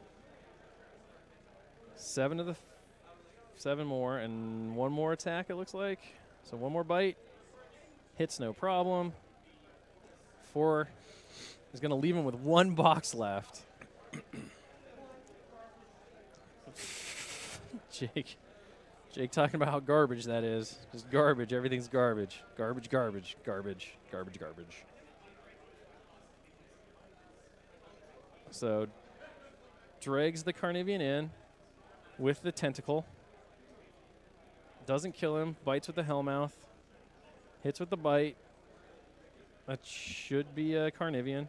Yep. Carnivean's dead. Attacks the Naga with the second bite because the first bite from the Hellmouth is free. Does six damage to the one. Probably not enough to kill the Naga. I don't remember exactly how much it had left on Yep, it. Nope, exactly gone. on the nose.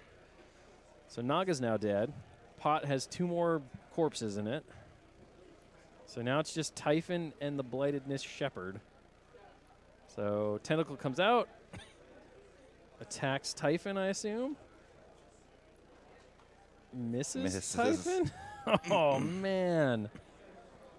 Oh. Even in the back. Oh, man, that's just, that's rough. That is rough.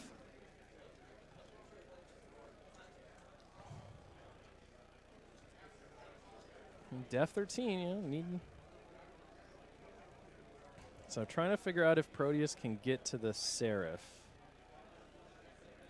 And it doesn't look like he's going to have the angle to get there because that's what you're seeing with those those couple of um, measurement sticks. Is one is the four inch chain chain strike, and then the other one's the Typhon's charge distance.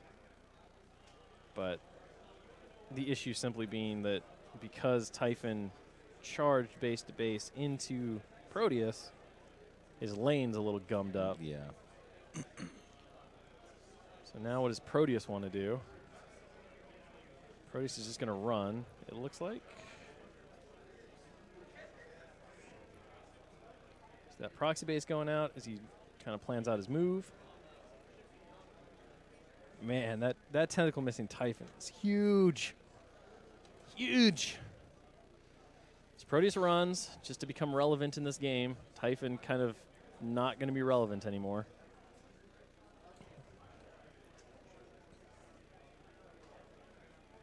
And the Gobber Chef is going to get base to base with the flag. Jake points out as like he should have done last time.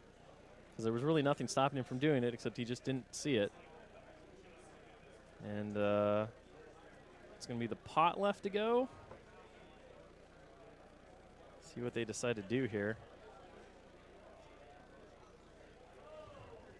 I'm just going to advance. My expectation is he'll kill one of them to get another corpse in, or another corpse token, and pop out probably another Harrier. I mean, that Harrier did The- great last time. Yeah, absolutely. Might as well just throw it back out there. yep, here we go. Here we go. Attacking one of the pot bears. Like, hey, you, you're needed. Get in the stew. Get in the stew. There comes the Harrier. Harrier's gonna run.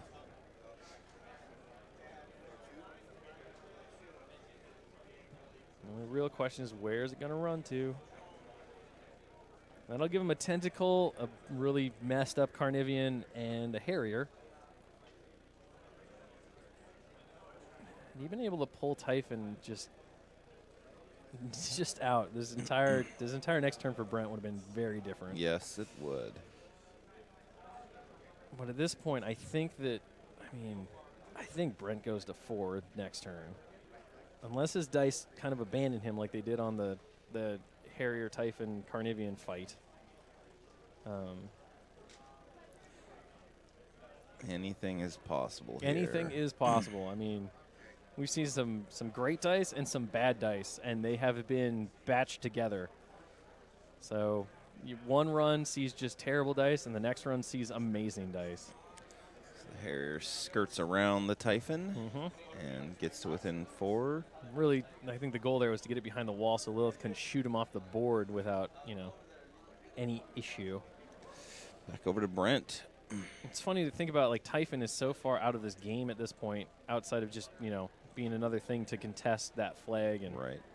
deal with it. You almost wonder at some point, you know, if you need to rapidly reposition and you have the turn to take it, you can almost use Thagrosh's feat as a teleport spell. Murder one of your Mhm. war beasts, get get him to where you want to be, and uh, pop him out. It loses you a turn, obviously, and it costs your feat, but you know, stranger things have happened. At this point, though, I think Thagrosh is going to be using it on that poor Carnivean because that Carnivean is not. I almost want to make a Hungerford statement of absolute certainty that that Carnivean is not going to live this turn. But I've learned better because Hungerford's always wrong when he says that. Learn from Hungerford's mistakes. Don't be a Hungerford. It's highly probable that that Carnivean is going to die this turn. Hunger math is not a thing that anyone should rely on. Hunger math is terrible. We got uh, Shepherd up on the flag now. I think it's the same shepherd that was there before. Yeah, Yeah, he just moved it just just shifted across. over.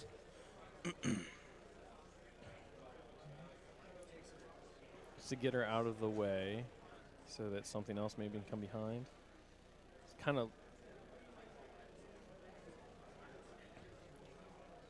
So, looks like we're gonna blight. Yep, we're gonna have a forsaken blight field, or use its blight shroud, blight Nice. bomb. It's not blight bomb, but see if it can't just kill a harrier. It does five points to it, to the six. How eight with three dice. That'll do on a harrier.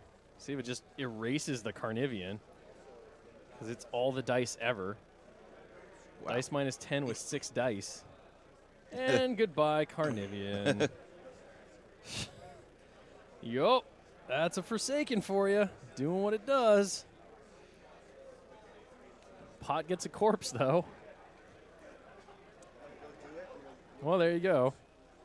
Uh, six dice on a POW 8. That That's still pretty scary.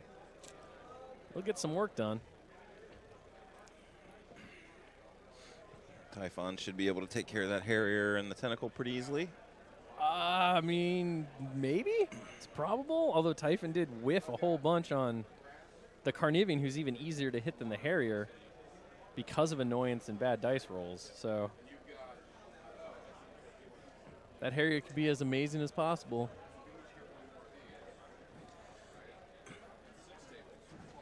We got uh, Tony out doing a little bit, a bit of maintenance on one of our dice cams that got bumped.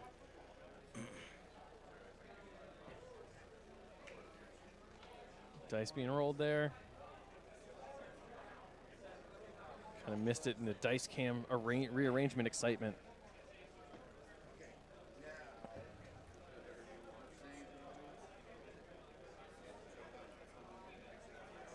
All right.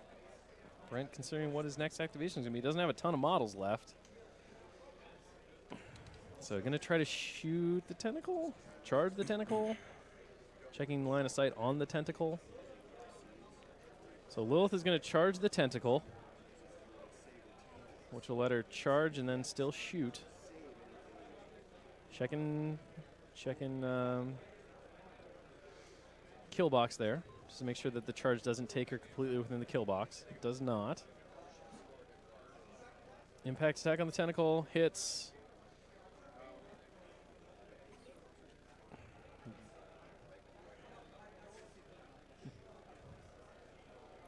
Does not destroy the tentacle.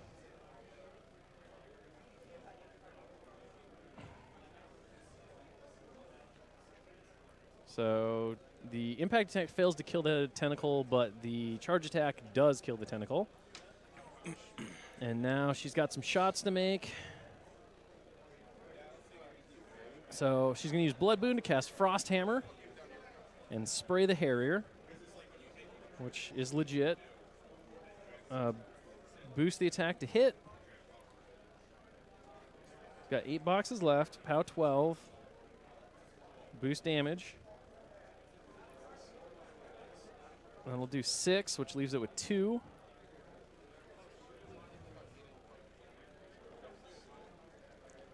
And now what are you going to do, Lylyth? I think she's doing it again.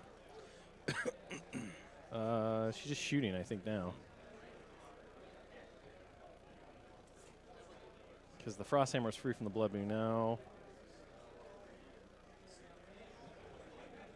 Mm, you going to pop your feat? I mean, that's not really going to do much. Time to get He's just over trying there. to figure out where he's going to shoot.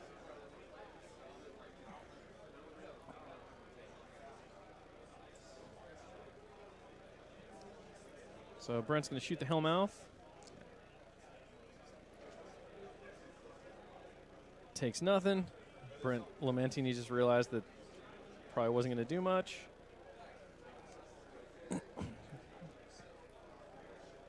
So he's got to get out of the kill box with the reposition, and that will do it because apparently he was completely within the, uh, the kill box, but he had the five inch reposition, so it was a safe play. Typhon, time to get rid of that damn Hellmouth. Typhon, Typhon gonna go eat himself a hellmouth.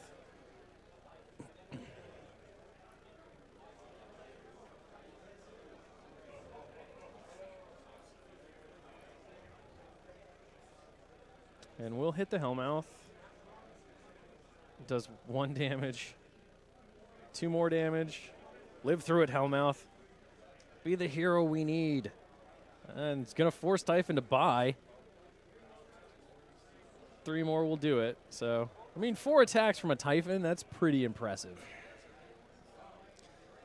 Things will soak up the Why are you damage. making weird noises at me? Why not? Your face is right there. Plus, we've been watching tentacles getting eaten all day. Lots of tentacles. So many tentacles. They've been giving souls and dropping corpses in pots. It's been amazing. And in case you don't know who we're talking to, Hungerford has showed up and stuck his nose in our little broadcast. It's what he does, man. It's what he Just does. Watching the game. Stop. Stop. Stop. Stop touching. All right. So, Brent, doing some quick measurements here. Try. He's got a contest. Wants to stay outside of uh,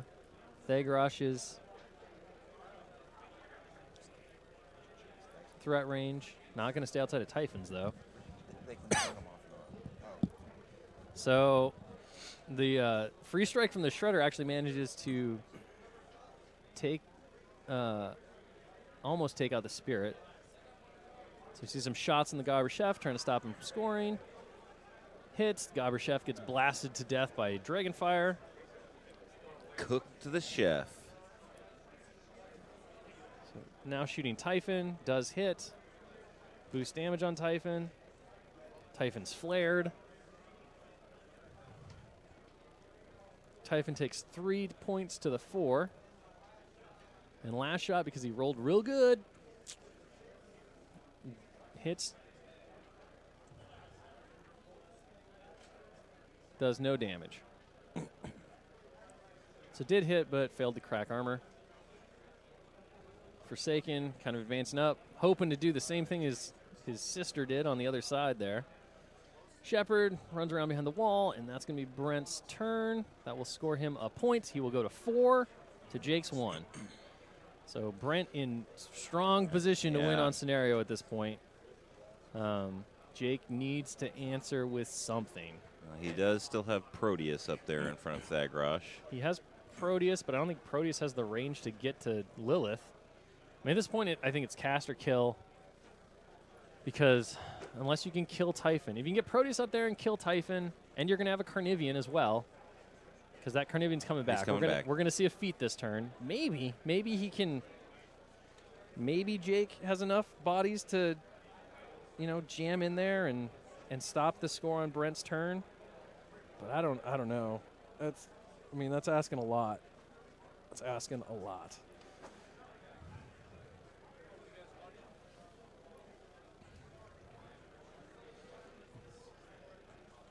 So, it's- Pot Bearer makes an attack on the Shepherd. yep. Schmuxer. Goodbye, Shepherd. Give me, give me that body. I like how they just hucked it conga line back into the mm-hmm. pot. There's like whoop whoop whoop, sploosh. All right, do it one more time. Get yourself a, uh, get yourself a lesser there, Jake. So attacking her in the back, hits, murders her, and conga line continues. Come on, ride the train and ride it. Quad City DJs for the win. Harrier pops out again. You can't keep a good Harrier down. No, you just can't. Get a fresh one every turn. They're like roaches, man. You squash one, three more pop up. They're just like, come on now, let's That- do this. That's not exactly how the pot All right. works. So don't miss Tentacle. So the last Hellmouth drops a tentacle in Typhon's back arc. He misses again. What? Oh my lord. this is just this is just painful. That'd have been huge. Typhon would have gotten dragged to that Hellmouth, been right next to Proteus and Thagrosh, and would have just been straight murdered.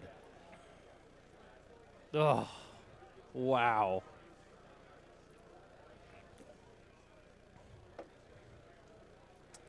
And that's why you boost on sixes when you can, because it's super important.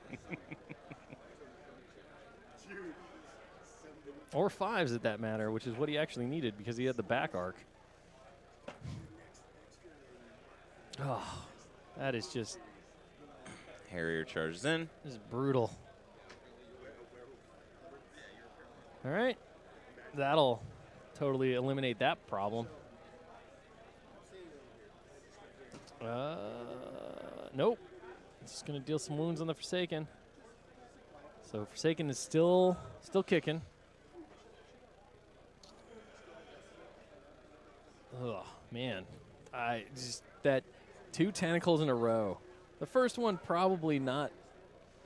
I mean, bad, but not nearly as bad as this one missing this time.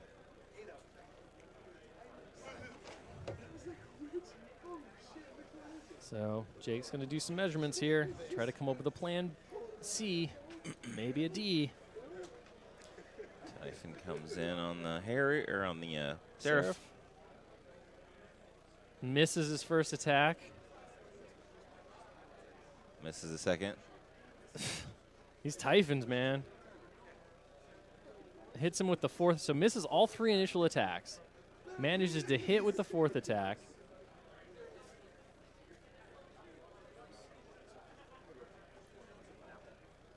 Uh, crits on the next attack could crit pitch. Probably, I mean, maybe pitch him towards Typhon, I guess? or Proteus?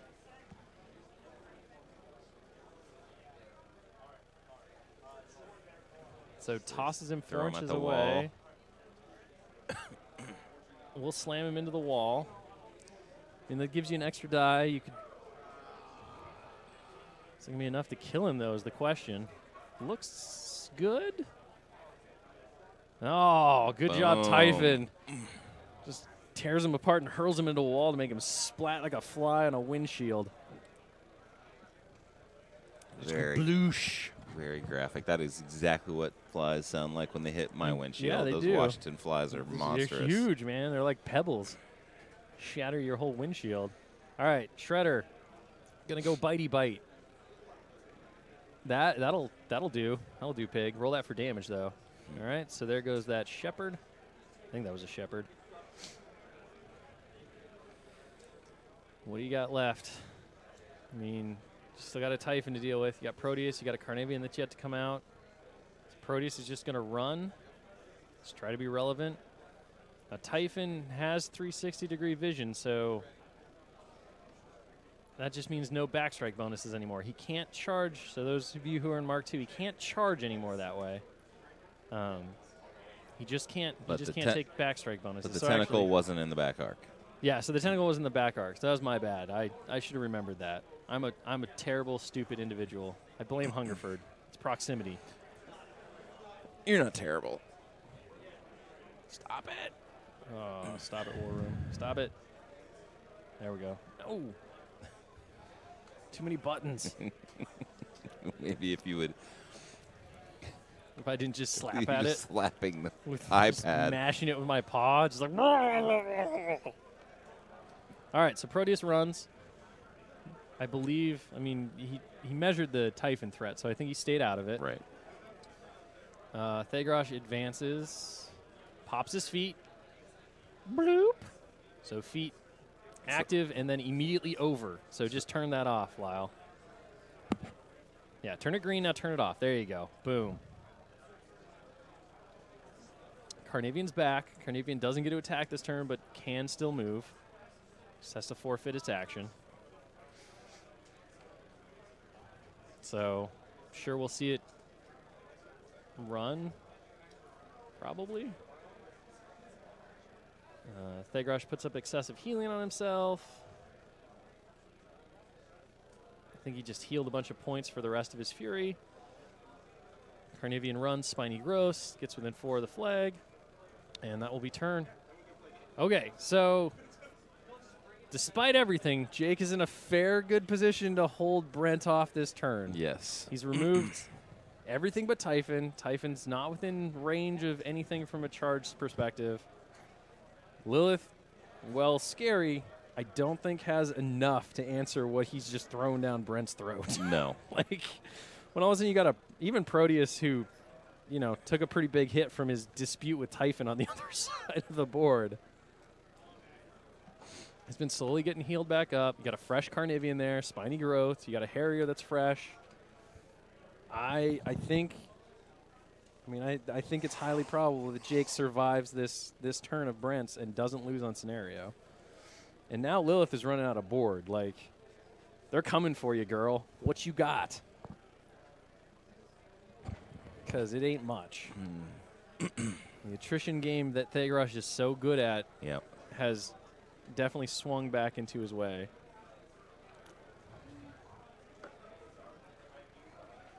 So, I mean, a series of impressive, I mean, really just impressive mental control because there are a lot of times where Jake had some rolls that really could have sent you into a tizzy where you just you just start being like I can't I can't get Typhon I can't drag I can't drag his ass like what is going on with my dice and yet you know and then watching uh watching that that 17 damage roll on your frenzy with Typhon against Proteus there's just so many so many moments in this game where like it would be easy as a player to kind of lose your cool and just start throwing things willy-nilly at stuff but Jake has done a really good job keeping his composure and forcing Brent to make really hard choices and smart plays on his turn. At this point, you've got a clear Proteus, a Carnivean, a Pot Bearer, Yep. And a Harrier? Yep. Yep. You do. And that is that is what you got to do. And uh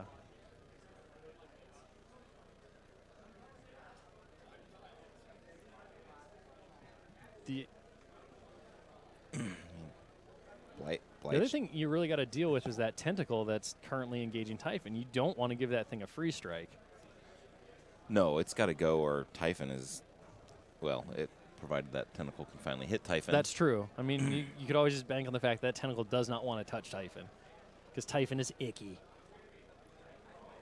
All right, so here comes a blight bomb from a Forsaken. That is not the same role he had on the Carnivean, new. so it's going to do a whole lot of nothing.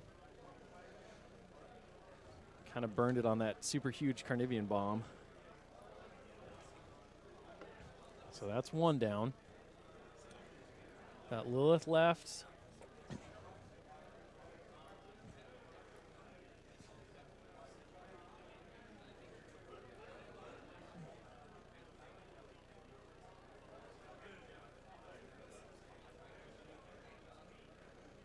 Brent, thinking about where to go next here. Lylyth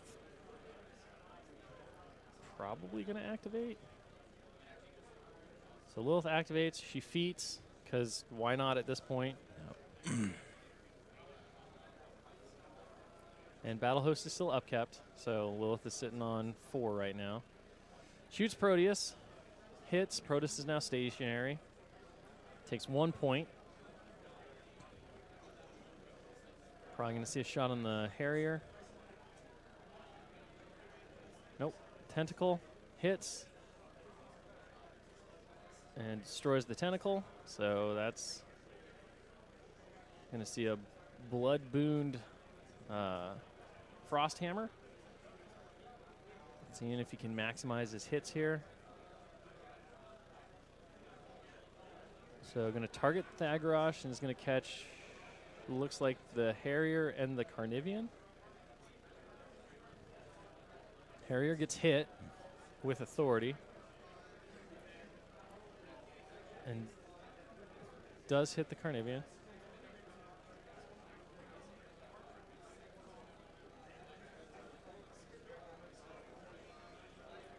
So Harry's going to take eight to the four from Frosthammer. Carnivean's going to take nothing.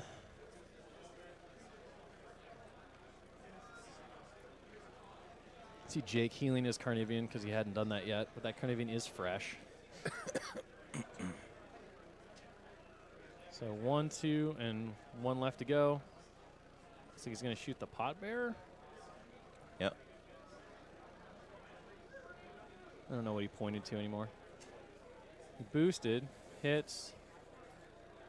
Uh, he's shooting the Harrier. It looks like just trying to just trying to eliminate the Harrier. He's got five left, and that will kill the Harrier. Put him back into the pot because you can't keep a good Harrier down. Pot's got two.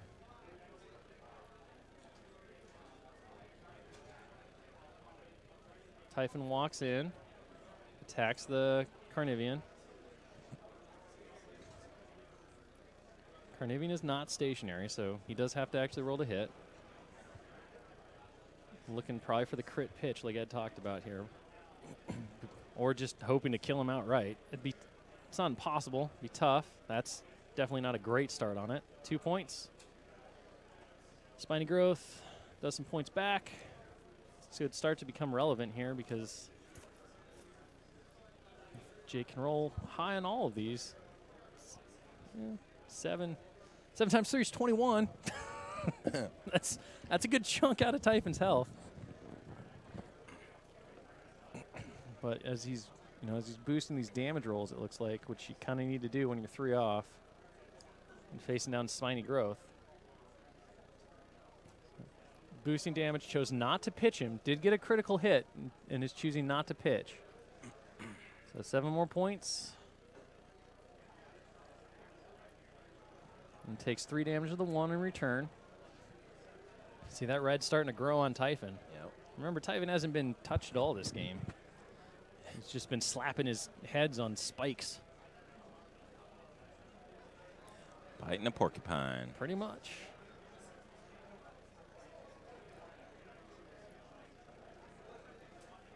So Brent just confirming where he's at in terms of attacks here. So third initial attack, he's going to spray. He hasn't purchased any attacks yet. Hits. So hits, yep. And does five, and now because he hit him with a spray, uh, the Carnivean will be stationary.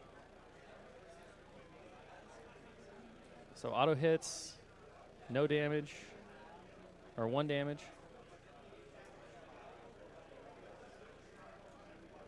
So it takes three more points to the two. Typhon's getting real close to having uh, an aspect filled up here. His mind, which won't matter because the Carnivean's stationary, but still. So looks like he excessive heals. Calls it good. And is that the Shepherd? That's the Forsaken. Forsaken. Eats all the Fury and is going to bomb. Oh, nope. I'm just going to Yeah. eat the Fury and sit on it. So Jake weathers the turn. A bunch of his stuff is stationary, so he's going to have to shake, but I think Lylyth is dead. yeah, this is. Uh, like, Draconic Strength Proteus kind of says, we're done here. And that, I mean, maybe, maybe the tentacle hits and drags Typhon out of the way so the Carnivean can go join in on the fun. But, but yeah, Brent, Brent gave it his best. I, I don't I don't see him getting out of this though. So pot moving, get out of the way. Got a prog.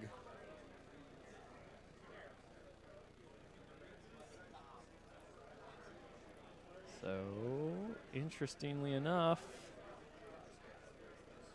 I don't know that he kept the lane open for the drag though. So maybe Jake has a smarter plan than mine.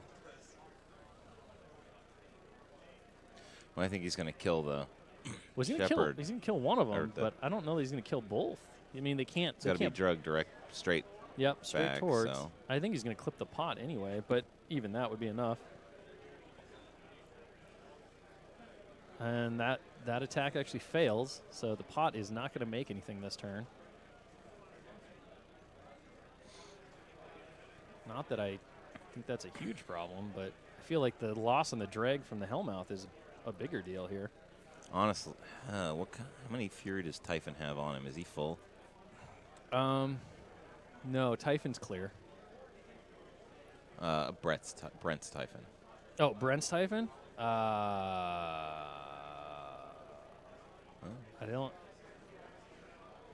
Apparently, going to punch Typhon with his fist. He's just going to kill Typhon here. Well, and then you can move the Carnivean up. Yeah, and then the Carnivean can go up and kill Lylyth. That's what needs to happen. There's definitely a lot of ways to do this. He's going to tentacle the Forsaken. Buys an attack on Typhon. Hits. So six damage. Remember, Draconic Strength is up, so Proteus is hitting at real high pows. He's got 16 on the tentacles, 18s on the talons. Typhon but- murders himself a uh, Forsaken. Forsaken and snacks on it with his squibbly tentacles to heal three. Buys an attack on Typhon. Hits. And seven points would kill Typhon. Typhon dies. Both players have their clocks under five minutes. Well, I mean, Brent's turn is going to be real easy because he's He's got, you know, maybe a he's Lylyth. got a Forsaken, a Shepherd, and Lylyth to go. And here comes the Carnivean. Nothing to transfer Train to. wrecking in. Bye bye. He's got a hit. I mean, that's not insignificant. Shears def what? 13? 15? 15. I mean, 15's pretty high. Um, now, Jake is going to start scoring, but he's, he's got to move quick here. So hits. And that's And game. So Smash.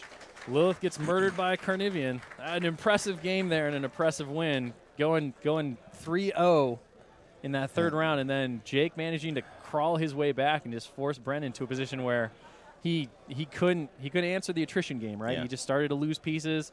Um, Jake held it held it out, kept throwing things in. The pot was MVP in my opinion because it just kept, Kept- throwing lessers at him. Exactly. Lesser's like- made from Yeah, lessers. deal with this, man. Like we're just gonna keep making stuff. Uh, and uh, Two yeah. great players. Yeah, absolutely, uh, a great pl- game. Playing great game. Super Um, fun to watch. Like I said at the start of the game, I was really excited to see this matchup because I thought I think it all came down to skill, and we saw some really great plays, um, some really great counter plays, and in the end of the day, it was Jake's day to, to pull it out. So Absolutely. fantastic to both. Stay with us. We're going to be back with the finals match for the Invitational here in just a couple of minutes. So stick with us, and we will catch you on the flip side. Hasta la vista.